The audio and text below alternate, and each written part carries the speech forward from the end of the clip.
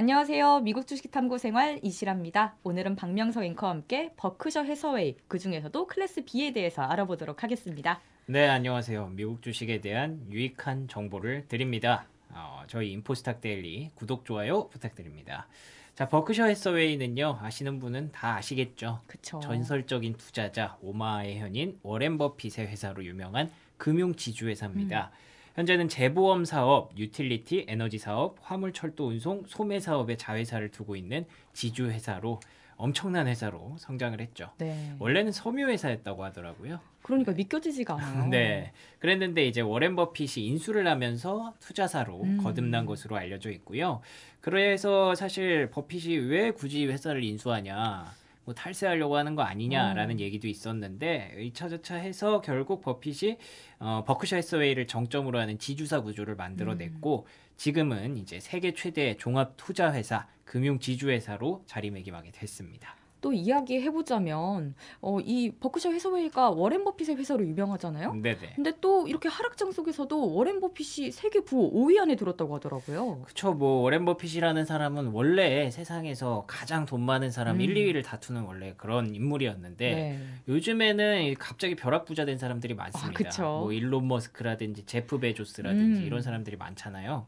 근데 이 사람들이 사실 뭐, 월급을 많이 받는다기보다, 테슬라의 지분, 아마존의 지분 이런 음. 것들을 많이 갖고 있고 그 회사가 이제 성장하고 주가가 급등하면서 점점 더 부자가 되는 거잖아요. 그쵸. 근데 그 종목들이 최근에 많이 부진했잖아요. 네. 근데 반대로 버크셔 해서웨이는 주가가 좋았단 말이죠. 음. 그러다 보니까 그냥 워렌 버핏 아저씨는 그냥 가만히 앉아 있었는데, 예.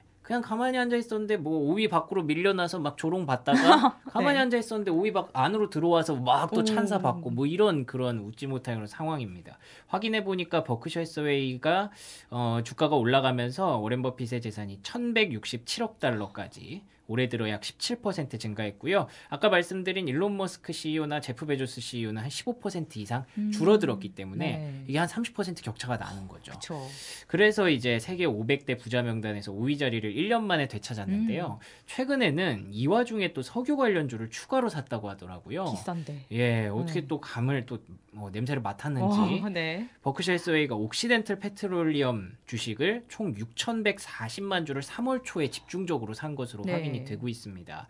어, 그래서 현재 보통주의 9%에 달하는 지분을 가져갔기 때문에 이게 뭐 변동성은 있기는 하겠지만 음. 어쨌든 워렌 버핏이 보기에는 보통 잘 뭐 금방 팔려고 사지는 않잖아요. 그쵸. 이분이 계속 이게 좀 갈 것으로 예상을 하나 봐요. 그렇네요. 네. 그럼 현재 주가는 어떤가요? 뭐 버크셔 해서웨이라고 쓰고 워렌 버핏의 투자 성과라고 읽어도 무방하다라고 보고 있습니다. 네. 코카콜라, 쉐브론, GM, 애플, 뭐 우리가 흔히 알고 있는 실적주를 중심으로 음. 투자하고 있기 때문에 가치주의 주가 수익률이 좋은 시기에 버크셔 해서웨이의 주가 역시 강세를 보이는데요. 어, 수익률은 기술주가 강세를 보였던 2021년 어, S&P 500 지수를 밑돌기도 했습니다. 네. 이때는 뭐 많이 그 어, 욕을 그렇죠. 먹었죠. 예, 드디어 이제 갔다. 어, 그 투자에 대한 감이 떨어진 게 아니냐 음. 뭐 이런 얘기를 좀 했었는데 근데 뭐 그런 사람들의 그런 얘기를 이 사람이 투자하면서 얼마나 많이 들었겠어요? 그렇죠. 몇십 년 동안. 음. 예. 그래도 이 뚝심이 있다는 게 진짜 그래서 지금의 워렌 버핏이 만들어진 것 같고요. 결국 작년 11월부터 기술주의 대대적인 조정장이 나타나면서 시장의 변동성이 커졌던 시기에는 오히려 주목을 받았습니다. 음. 버크셔 해서웨이는 애플, 스노우 이런 기술주 투자를 좀 제한적으로 하면서 포트폴리오에 큰 영향을 받지 않았고요. 주가가 오히려 반등했습니다. 음. 아크 ETF가 요즘 또 욕을 또 많이 먹고 있죠. 그렇죠. 예, 아무래도 성장주 중심이다 보니까 돈나무 누나가 요즘에는 많이 탈탈 혼을 나고. 있는 그런 음. 상황인데 어, 그쪽은 이제 부진을 면치 못했습니다만 결국에 버크셔 해서웨이 수익률이 아크 이노베이션 ETF를 능가하게 되는 오. 수준까지 왔다고 합니다.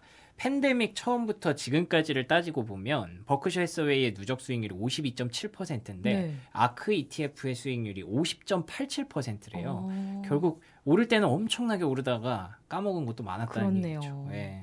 그러면 버크셔 해서웨이의 지난 실적은 어땠나요? 지난해 4분기 매출은 718억 달러로 시장 전망치였던 691억 달러에 비해서 3.91% 음. 상회했고요. 전년 동기 대비 11.53%의 성장세를 보였습니다.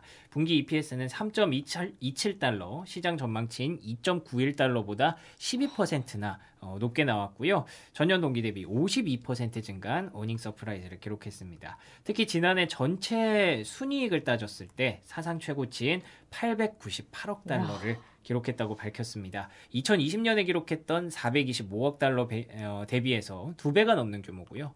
투자 수익이 전년 대비 두 배 가까이 증가한 623억 달러를 기록하면서 순이익 증가를 견인한 것으로 나타났습니다. 그렇군요. 감탄사밖에 나오지가 않네요. 네. 네. 근데 실적 발표 후에 또 자사주를 매입했다고 하더라고요. 어, 자사주 매입은 뭐 계속하죠. 음. 네, 근데 핵심은 그거더라고요. 살 게 없다. 요즘 시장에. 그래서 네. 우리는 자사주를 살려고 한다. 아. 뭐 이런 거더라고요. 주주 서한을 보냈는데 그분이랑 같이 맨날 나오는 찰리 먼거 어, 아저씨 네. 있잖아요. 그 어, 찰리 먼거 아저씨가 그런 얘기를 했대요. 버크셔 해서웨이에 1,467억 달러에 달하는 현금을 어디다 쓸지 지금 고민 중인데 음. 우리를 막 흥분시켜서 막 살만한 종목을 아직 찾지 못했다. 어, 찰리와 나는 가끔씩 지금과 비슷하게 많이 보유한 현금을 많이 갖고 있는 시기를 견뎌야 했다. 사실 아, 비슷하죠. 우리가 현금을 갖고 있어도 그 보통 이제 참지 못하잖아요. 그렇죠. 예, 그냥 사잖아요. 네. 그러고 이제 많이들 후회를 음. 하는데 어쨌든 그걸 참아내는 그런 시간이라고 오렌 버핏이 덧붙였다고 하고요. 대신에 작년 같은 경우에 자사주 취득에 271억 달러를 사용하는 정도로 자사주 매수를 현재 늘리고 있는 음. 그런 기조를 유지할 것 같습니다. 올해도 이미 12억 달러어치의 자사주를 취득했기 때문이죠. 그렇군요. 사실 저는 이게 제일 궁금한데 네. 현재 버크셔 해서웨이의 포트폴리오는 어떻게 구성되어 있나요? 뭐 그렇게 특별한 건 없어요. 아? 항상 그렇듯이 예, 46개 정도 어, 보유하고 있는 걸로 아, 알려져 네. 있는데요. 그 중에 40%가 IT 업체, 음. 30%가 금융사, 13%가 주요 소비재, 16% 기타 뭐 이렇다고 합니다. 오.